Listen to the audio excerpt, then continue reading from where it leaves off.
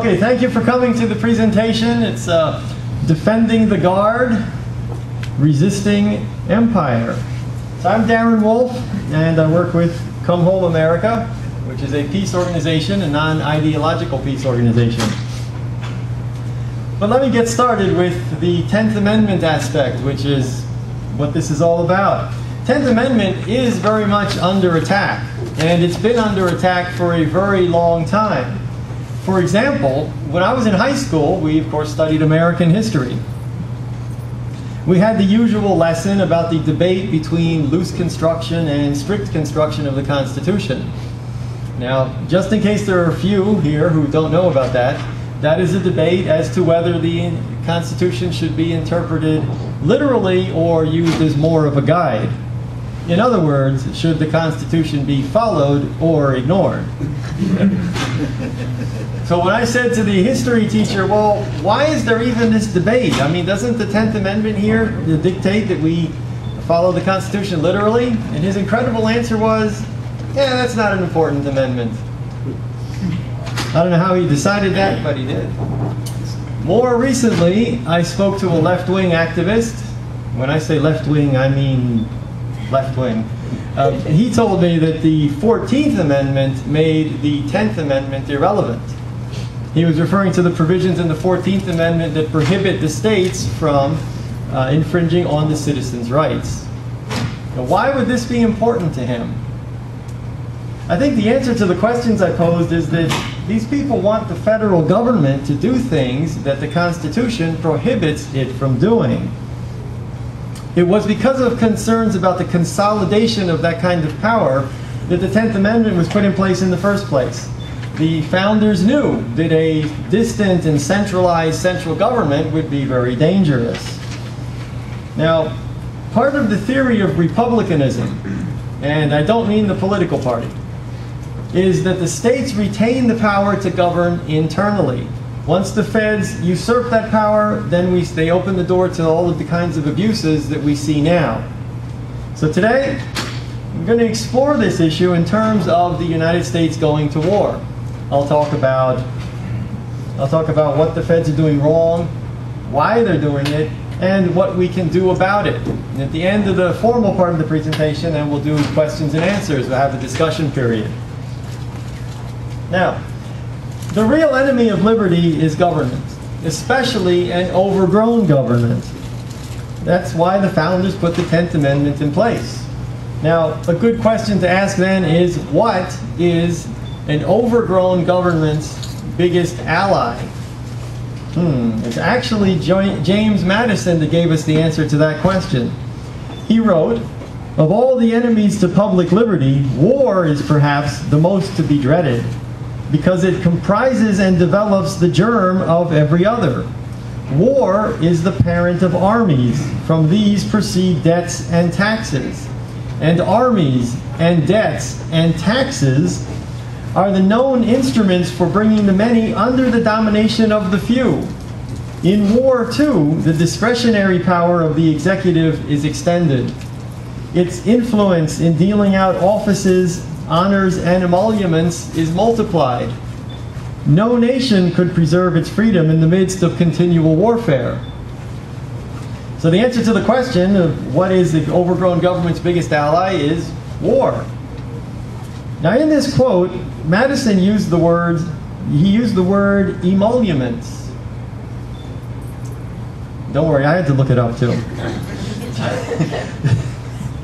uh, it means, um, right, it means payments or special favors.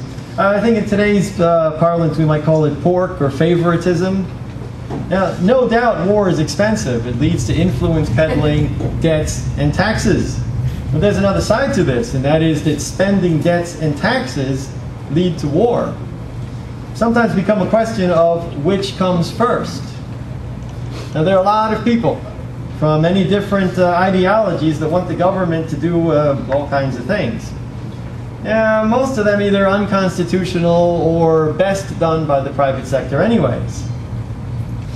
Now they didn't start out thinking that there'd be any harm done by giving the feds a little more power and a little more money. So whether it's health care or gun rights, You know, what people need to understand is that the, the government with the power to attack Yemenis with drones has the power to take our guns here at home. A government with the power to attack Afghans with jet fighters has the power to impose the indoctrination system on us that they call public education. And that government, with the power to wage aggressive wars, to tax and create money, has the resources and the power to impose Obamacare on us. Warfare abroad and welfare at home are flip sides of the same coin. We cannot give the government the tools it needs to oppress us and expect it not to do so. It's not enough just to advocate that they stop. We have to take away the tools they use to commit their evil deeds. And that means we got to do a few things. One, end the Federal Reserve System, and the income tax, and the federal government's social spending, its regulatory role, its police powers, and its aggressive wars. Peace and liberty will only be ours when the government is powerless to commit evil acts, both at home and abroad. Ultimately, it is the fact that the U.S. has become an empire that leads directly to so much war. Now, there are many, from the founders to serious analysts today, who have made that point. Sometimes people are surprised to hear that Patrick Henry made that point over 200 years ago. He's most, he's of course best uh, known for the speech that he gave that inspired the revolution, give me liberty or give me death. Less well known is a speech he gave opposing adoption of the Constitution titled, Shall Liberty or Empire Be Sought? Now in this speech he, uh, he warned, if we admit this consolidated government, it will be because we like a great, splendid one. Some way or other, we must be a great and mighty empire. We must have an army, a navy, and a number of things. When the American spirit was in its youth, the language of America was different. Liberty, sir, was then the primary object. But now, the American spirit, assisted by the ropes and chains of consolidation, is about to convert this country to a powerful and mighty empire. That was 200 years ago. Moving on to the present day, one advocate of the view that the, Amer the U.S. has become an empire is George Friedman. He's the founder and CEO of Stratfor. That stands for Strategic Forecasting. This is a private global intelligence company that gives non-ideological analysis. Now, he wrote a book last year, and it's titled The Next Decade. So, what he's doing here is forecasting the geopolitical situation, obviously, for the next 10 years. Now, I can't agree with his pro intervention conclusions, but Mr. Friedman does make some great points in his book, and some of them are things that most Americans are unwilling to face. The major one being that the United States has become an unintended empire, as he calls it. Now, in the, in the next decade, he very passionately states that he wants the American Republic to survive the empire that it has acquired. Well, unfortunately, the Republic is already dead. Now, he points out that the Roman Republic was overwhelmed by its empire, and he doesn't want to see that happen here. But, well, it already has happened here. No, we're not about to have an emperor crowned, you know, a la Julius Caesar. What we have is that the, the form of the republic lives on long after, after the reality of it has died. In other words, the 10th Amendment has been ignored. The federal government has grown way beyond its constitutional constraints. One second.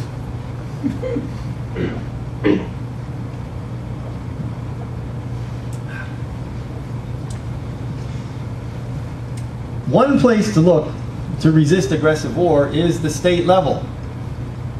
Now here we have a very long and honorable tradition going back to colonial days. Outside of New England, there was great resistance to the French and Indian War. It started back in 1754. Now to quote from a great book called The Civilian and the military. It's a history of American anti-militarist tradition.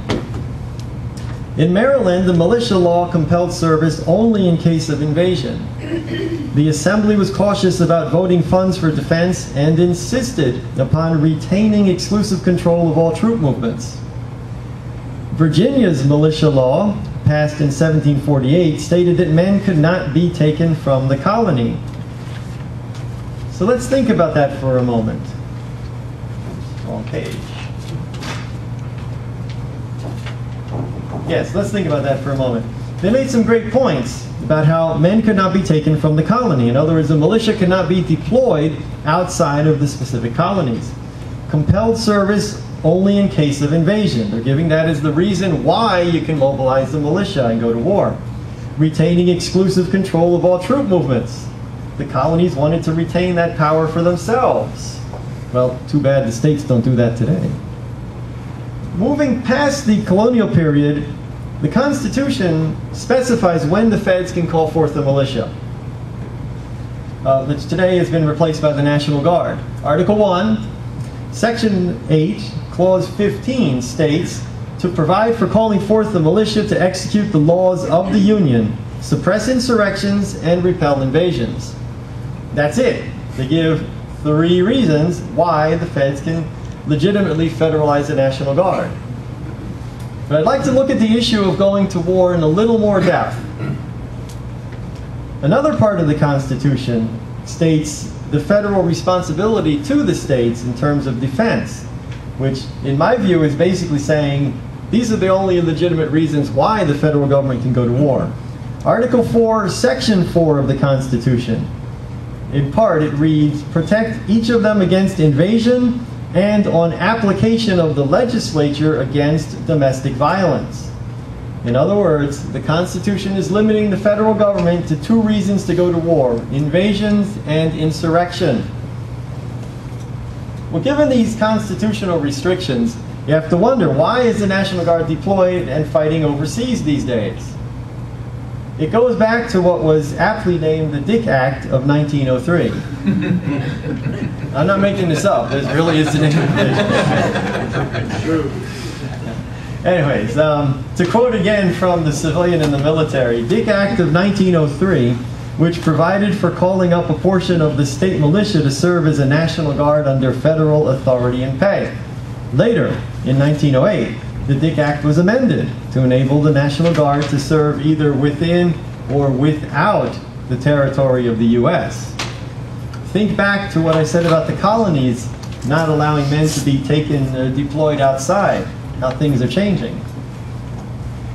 Uh, then came the National Defense Act of 1916, which gave the President greater power to federalize the National Guard and provided for federal funds for it. Things are changing even more. But being able to call on the Guard at will is no doubt what the founders would have seen as having a standing army through the back door. Today, it's one way to hide the true size of the military. Sounds like a good time for some nullification now, doesn't it? well, that brings us to um, something that our hosts here at the 10th Amendment Center are proposing. And this would allow the states to resist federal overreach it is the Defend the Guard legislation. This is law that they're proposing that each state legislature adopt. This is nullification at the state level. Uh, the summary for their proposed legislation reads as follows. For the purpose of requiring the governor to withhold or withdraw approval of the transfer of this state's National Guard to federal control in the absence of an explicit authorization adopted by the federal government in pursuance of the powers delegated to the federal government in Article 1, Section 8, Clause 15 of the U.S. Constitution. So in other words, they're saying the governors can refuse to turn the National Guard over to the feds or recall them if already federalized. Very definitely a good way to clip the feds' wings. So moving along to Nullification also applies at the individual level. And as individuals, hmm, what can we do about the wars? Well, there is a peace movement. I'm sure that you're all just dying to go out there and join with the group that wants peace and socialized medicine. no, of course not. No, forget about that. Uh, I've tried working with the left's anti-war movement. Uh, few of them are really open to working with the liberty-minded anyways. But there is one group that deserves to be mentioned. That is Come Home America. Their website is comehomeamerica.us. As you can see, they actually named the, the book that this group is based on, comehomeamerica.us. This book is based on a meeting uh, that took place uh, with unlike-minded people. What brought them together was their um, concern for the runaway militarism taking over the United States. The meeting was held in February of 2012, no, 2010, included people from the right, the left, and the center. There's uh, progressives, conservatives, liberals, libertarians, reflecting the views of many Americans, things that are not uh, seen uh, coming out of Congress, the White House, or the mainstream media. So our purpose is to have a peace movement, one that welcomes everybody, and one that makes everybody feel not only comfortable but part of the movement. Know, nobody should feel like they're standing up for somebody else's political agenda when they stand up for peace. And that's why we have one focus, and that is ending the wars abroad. You know, we uh, really need to expand the peace movement. If it keeps on being a matter of the radical left on one side and the libertarians on the other, it'll keep getting the same dismal results it has until now. Now, in between the two sides is the great big middle you know, the famous Joe and Jane six-pack. You know, they're not, they're not radicals. They may be Democrats, Republicans, or independents. They may be uh, anti-war. But until now, they've had nowhere to turn. We've left them out of the peace movement. But now, though, with groups like Come Home America, they have a place to go to engage in peace activism. So, well, check us out at comehomeamerica.us. You know, join us at uh, the local group, and here in Philadelphia we have a local group. Um, if you're from out of town, join your local group there. If there isn't one, then we'll help you start one. And I do have some extra copies of the book for those who would like it. It's only $16.95. Be a bargain at twice the price. no, you can see me afterwards if you like a copy of the book. Uh, before wrapping up, I want to go a little bit off topic here. But I, I'm very confident I'm getting into something that will go over very, very well here. I'm talking about the most important liberty event in Philadelphia. So after this one. I'm talking about the best time you will ever have standing up for liberty. I'm talking about End the Fed. Yes, Rally for Sound Money Day. I had a feeling there wouldn't be any tomatoes coming in. I wait for that. All right, so you're all invited to join us uh, Sunday, April 22nd at 11 a.m. in front of the Federal Reserve Bank over at uh, 6th and Arch.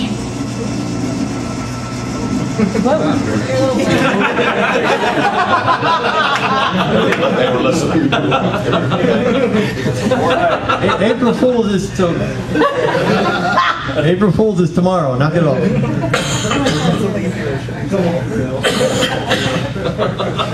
Leap year. Oh, leap year. Good point. All right. Anyways, where was I? I got to start over. Um, oh yes. Okay. So it's uh, April Sunday, April 22nd, 11 a.m. Sixth and Arch. Um, this is the end of Fed. I got to say, this sets the standard for end of Fed rallies across the country. We're going to have the Renegade uh, Parade float. On that float is the Mobile Rock Show. Basically, that means Jordan Page. now, after the end of the Fed rally, and I have to emphasize this is a completely separate event. But after the end of the Fed rally, at 1 o'clock at Independence Hall is Philly Freedom 2012.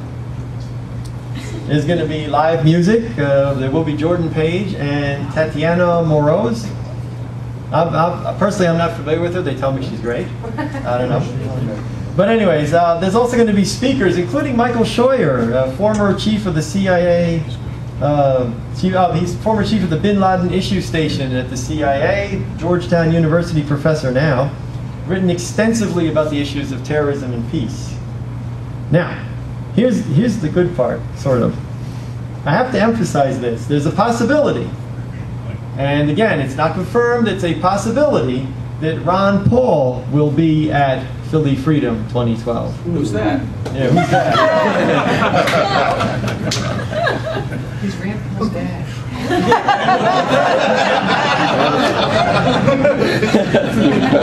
Right. So if you live around here, no excuses. You know, be there, please. And if you don't live around here, come back because you don't want to miss this.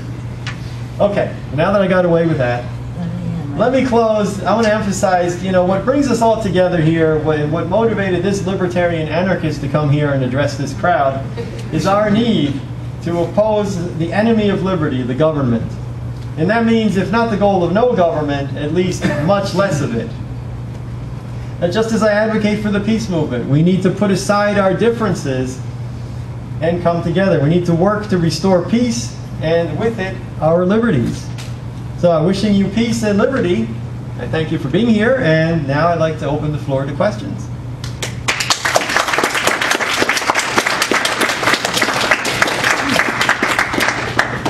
Questions, comments? Sir? Okay, I, I thought it was going to be more talking about uh, the National Guard. I I guess the question is, I, I never served. I had a high number back in the day, and I didn't have to serve. Vietnam was going on at the time. So these people that are going, joining up, and I, and I, you sit by the end of the door so I can get out of here in case there's veterans here. But, uh, you know, why do they keep joining up? They know these wars are unconstitutional. That's the only economy we have left. Okay, I take it, I take it, I take it everybody heard the question, right? Okay, so we're good on the question. Um, I, I would say, well, first of all, I'm actually a veteran myself. Um, So, but that was a long time ago, right out of high school, and I won't even go into how long ago that was. But anyways, uh, um, I don't think that people really know that the wars are unconstitutional. I mean, the government says that they're they're perfectly constitutional, legal, and you know most necessary and protecting us from you know I could go on and on. I mean, a lot of people buy into that. Yeah, people certainly at 18 don't know they're, most of them going through the government indoctrination centers don't know they're unconstitutional. Yeah, the, the comment was that most people, like at, at a young age of 18, just coming out of the indoctrination centers, the schools, don't know that they're unconstitutional. They don't know the Constitution. You think they're doing something good for their country? You're being patriotic. And It's like Top Gun.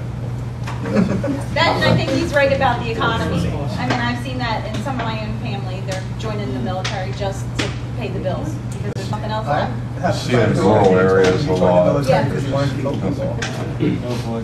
Well, I, Well, well, I think the, the point uh, that's been called the economic draft, and that is a good point. When you, you limit the economy the way it has been, what choices do people have sometimes? You know, if it's a choice between feeding, feeding the family or not, you do what you gotta do. Okay. Also, um, I'm also a veteran. Um, one, you have, let as far as economic incentives, you have a guaranteed job, a good paying job, a job that if you are overseas, it's tax free, free college education. So, I mean, there's there's a, a lot of economic reasons. Also, you got to think about um, over the past few years, right coming coming out of uh, September 11th and everything. There's a whole lot of patriotic fervor coming out of that, where you had a uh, had a rush uh, to enlist as well. So I think that's probably subsiding a little bit. But for economic reasons, um, it's you know when nobody when somebody's offering a ten dollar an hour job and somebody else is offering forty grand a year in free education and health care and no taxes, it's kind of an easier decision. Yeah, it's uh, yeah, it's it's a shame that people have to choose between you know flipping burgers or killing people, but sometimes it does come down to that. Yeah. And, and one other thing is that with the National Guard, um, up until just a few years ago, at least a lot of the people in my unit were not expecting, uh, were not planning to go. They thought they were, it was a state thing. It was, it was very, um, uh, there was a lot of controversy early on when they started getting deployed. It's now accepted, you know, that that's what you do. Um, but early on when they signed up, that they. Yeah, 'cause it's not the International Guard, it's the Right. National Guard. That's good. It's not the International Guard, it's the National Guard. I like that.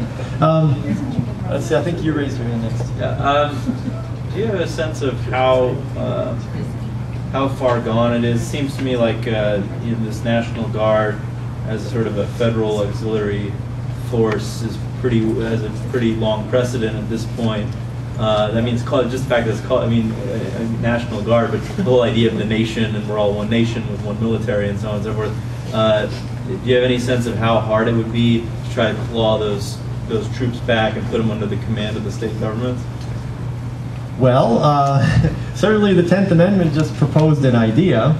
Um, Right. You know, it's hard to say. I mean, if, if you want my personal point of view, if you look at uh, what I talked about, the um, the Dick Act of 1903 and the National Dick Defense, you know, that kind of thing. I mean, to me, it seems that they're contradicting the Constitution right there, but yet the courts aren't uh, aren't saying this. So obviously, it's going to be difficult. I mean, you can get into the War Powers Act and how the Constitution already says how the U.S. is supposed to go to war. Why is there a War Powers Act that would seem to contradict it? Uh, so the answer, I hate to say, is um, it's going to be difficult. Do you to- think that's a good, it on- pla- a good place for the peace movement to, to uh, put its uh, put a focus on, on trying to get back the guard? I certainly see that as a piece of the puzzle. You know, I mean, I don't know that there's any one place we need to put all, the, all our eggs in one basket kind of thing. And uh, there's all different ideologies in the peace movement, so, you know, people go different directions. Yeah, with the attempt to bring back the national, or the the state guards back to the states, would that give them, the the states, the ability to then protect their own borders, particularly against immigration? New Jersey. Is that- is that part of this? well, once, uh, did everybody hear the question? No. Did the, uh, I guess I should repeat. the border. I guess I should repeat the question. Um, if bringing back the guard would then allow the states to protect their own borders, uh, especially um, in, in terms of immigration or illegal immigration. Yes. Um, why, well, I would suppose that would be up to the different states. I mean, again, that's the whole idea of, of federalism is that the states are governing internally.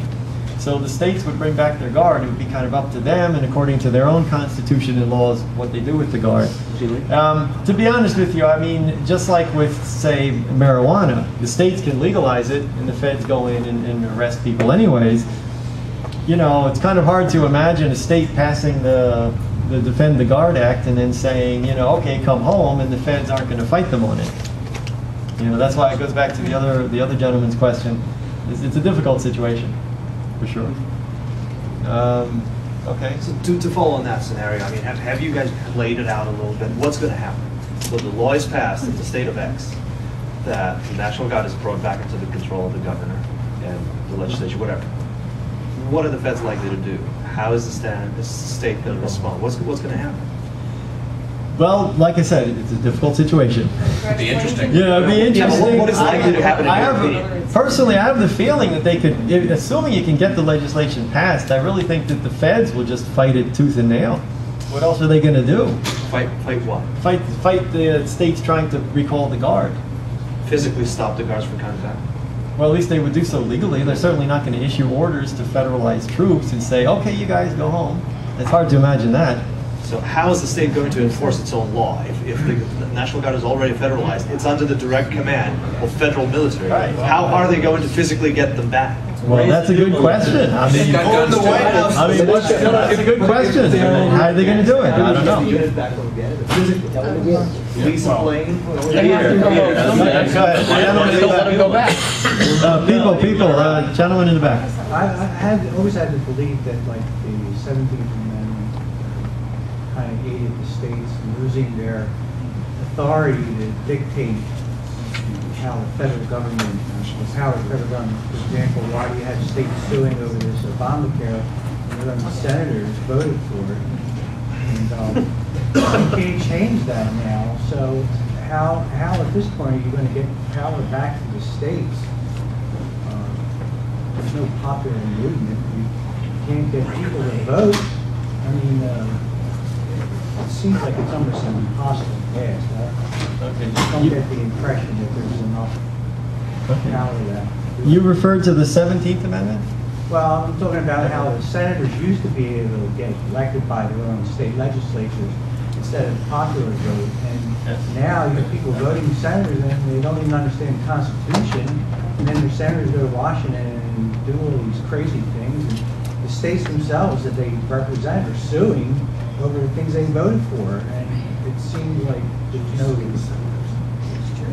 it has to start somewhere. You have, states have to get their power back somehow. And it seems like that was the start. Well, yes, um, that is the whole idea. That's what the Tenth Amendment Center is about. Um, it's, it's, I don't know, what can I say? Uh, the, the feds have usurped so much power, it's not even funny anymore. Getting it back is going to be difficult. Um, I think the biggest problem is in people's heads, basically. As long as they keep seeing the system is working, they're going to keep supporting it. And many people, you know, they still see our system is working. I mean, you know, I've been overseas. Um, I should mention my wife is from a, a country called Guyana in South America, second poorest country in the hemisphere. If you compare Guyana to the U.S., hey, we live in Disneyland, you know. I mean, we have problems, yes. We need to change, but on the other hand, it could be worse. Mike? Well, uh, yeah, I wanted to talk about the economics that, that keep in the war that most people aren't uh, talking about, and that's the fact that, you know, our, our currency and its value is artificially propped up because, uh, well, it's helped to be kept up because of war. Um, You know, what is our dollar based upon? You know, its fluidity, its uh, standard is the international reserve currency. It's, it's, how does it maintain that? Well, I think that's a good point. And um, one of the one theory about why the United States went to war in Iraq that I think is very appealing, at least to me, is that uh, Saddam Hussein had threatened to start selling oil in euros, and then to prop up the dollar, the U.S. had to go into Iraq. Um, taking that further, um, not that I like the bomb, but uh, Hugo Chavez down in Venezuela had made the same threat of selling his oil in euros. And of course, that was back, and then in, in 2002, there was a coup attempt against him. So, again, I, I, I guess I should settle down about Chavez. I really don't like the guy. but, anyways, I think the point's made. Well, he demanded Um, his gold back. See that? He's crazy. At least he's a nationalist. There, there seems, there seems to be a pattern of uh, these countries that want to do something with their oil for their country, and then shortly thereafter, something happening in the country. Yeah, like Iran. You know, Yeah, yeah. yeah, Yeah, a little Libya. organized destruction of throwing off that little planet they had to help themselves, basically. Yeah. Well, If, if our dollar is tied to its fluidity, and its fluidity is attached to the oil being traded every day in dollars, you know, then it's to somebody's interest to keep those dollar, all that oil traded in dollars. That's why there's gonna be more war. Well, also, I mean, while, the, while oil is traded in dollars, it's going to be cheaper for us over here. If it ever went over to euros, it would make it easier on the Europeans and make it harder on us. Um, I guess, um, let me take one more question, then I'm going to wrap up. Sir? I was just going to mention, you know, I was, I was thinking back to the uh, what's big storms we had. I think in Vermont, you know, their their National Guard units were missing, unable totally to help the people they're supposed to be helping. Yeah. And I was just wondering, are, are there any um, bills in the works that you're aware of to help restore some of this power to the states? No, that's why the 10th Amendment Center proposed the Defend the Guard legislation. Listen, um, well, all right, quickly, please. Just, I was just pointing out that go to the 10th Amendment website. I remember seeing that they either was Vermont or New Hampshire had a bill proposed this session or a session ago or something. So. Oh, okay. Cool. All right, one more. Uh, I, I live in Keene, New Hampshire right now with the uh, Free State Project, and, and their solution to it was that we should get a bear Bearcat, which is a, a, a tank, it's a military assault vehicle, to, to aid the, the police department in flood instances so that, you know, people can be bailed out. Meanwhile, there's like machine gun ports on each door of, of the, the vessel, and they, they try to say that it's not a military vehicle. Homeland Security donated it to the police department for uh, $300,000, but it was totally free, quote unquote, even though, you know, it was paid for with federal tax dollars. But, um, They're doing they gotta, they gotta, they gotta do something about those dangerous bike riders. All right, listen, uh, let me wrap it up. Uh, they, I'm, we're supposed to stop at five. I'm gonna go ahead and, uh, plug, uh, my friend's presentation in the, uh, what is it, the Liberty Ballroom. Jim Babb will be speaking about the TSA, so um, I'll see you over there. Thank you. Thank you.